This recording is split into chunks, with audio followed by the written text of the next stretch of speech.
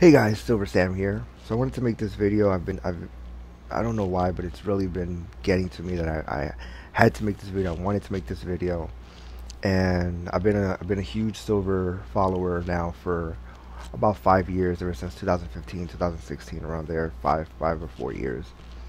Um, and and this video is basically on on where prices are going. What do you think about price? That's the hot topic right now as far as gold, silver, and other precious metals. And I got to tell you, the other night, I was I was I was in bed laying down, and I'm thinking because I was a little bit short on some bill, particularly my car insurance payment. And I, I start thinking to myself, like, you know what? I, I can go ahead and sell 10 ounces of silver. Now, I'm, I'm based out of New Jersey, and in New Jersey, there's not a lot of coin shops, not a lot of bullion shops. Um, and the only place I can go and sell bullion to is the pawn shop. The pawn shop gives you about 70%. So I'm there and I'm calculating. I'm like, you know what? This was when silver was at $24. I have 10 ounces. 10 ounces at 24 bucks. That's 240. 240, 70% of that is about 168, 170 around there. And it was at that moment where I, I just, I, I didn't feel comfortable selling it. And it was so weird because I'm, I'm a person that I will sell anything I've sold Xboxes, PlayStation, sneakers, stocks. I've sold silver in the past. I've sold gold in the past. And I just sat there in bed and I was like, I, I thought about the actual process of the transaction. I thought about me handing a 10 ounce silver bar and getting back 160 $170. And I was like, you know what? That's not a fair trade. Now again, I'm a person that I will sell anything. I, I, I hold no attachment to anything. I will sell whatever.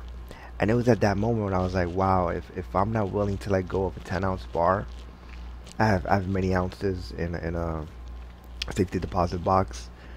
I know it goes against the silver stacking community not to keep these in in the banks, but I've had it in the banks for about five years now, so it, it helps me sleep at night. So I just rather not have it around or have it buried somewhere. I don't know.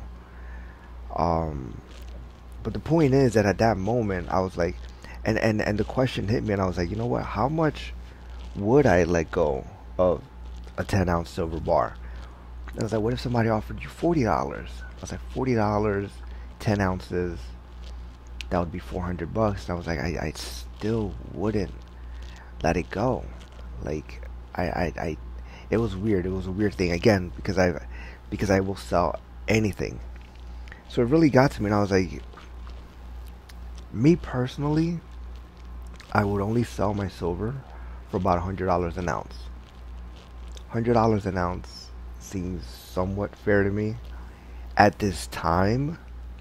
Now, if you look at the national debt clock, you can see that silver is valued at over four grand, four thousand dollars per ounce. As far as uh, the amount of paper, the dollar per silver ratio. So there's about four thousand dollars in paper money for every one ounce of silver. And these numbers seem, it, they don't seem so far fetched when you really think about it. And you're like, and and I thought about myself. I was like, okay, what well, what if somebody offered you forty thousand dollars for ten ounces, given four dollars four thousand dollars an ounce? And I was like, you know what? Then then I would I would sell. I would even sell it for a hundred or a, maybe even a thousand dollars an ounce. And I know I said a hundred, but at that moment I was like, you know what, it, it, this is this is highly undervalued. Uh, this this is the first video. I hope you guys gain some of it. Where do I personally see silver going? I see it keep going up, probably 50, 50 to 100 dollars. But again, silver silver is a very hard topic to to predict the price because with everything it, it deals with supply and demand. And the fact that there's hundreds of millions of ounces of silver being produced every year it's kind of hard to make silver go up. Now gold on the other hand i can firmly attest i can firmly give you a, a proper guidance that i see gold going to about $10000 an ounce about five to ten years from now simply because the law of supply and demand. Gold is being consumed, and I mean it is actually being consumed. I've seen ridiculous YouTube videos about gold wings, gold pizza, gold burgers, gold ice cream. Such ridiculous amounts of, of waste of, of gold.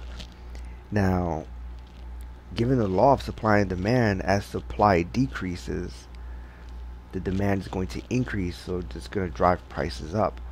I can I can sleep well at night, giving you the guidance that I believe gold will hit. Now this is a silver channel. I'm I'm pro silver. I'm all about silver, but I also diversify into other metals as well. And I believe gold will hit ten thousand dollars an ounce within the next five to ten years. I put my name behind that. Silver should easily hit three digits. Now again, I'm just a YouTuber. so I don't want you to take, you know, all this super hard and make financial decisions just based on me, but I've, I've been pretty successful and humbly, I can say. I don't want to brag on here, but that's that's basically where I see it. Hope you guys enjoy it. If you enjoyed it, make sure you hit the subscribe button, hit the like button, uh, put, turn on your post bell notifications, and make sure you leave leave uh, comments. Any questions that you may have, any guidance you may need. Uh, this is Silver Sam signing out. Um, what else? What else? What else? I'm going to be covering a lot of other topics. I'm going to be covering gold, other metals, mistakes that I've made. I've made several mistakes in the precious metals markets. That's going to be my next video. Uh, again, like, comment, subscribe. Until next time, guys. See ya.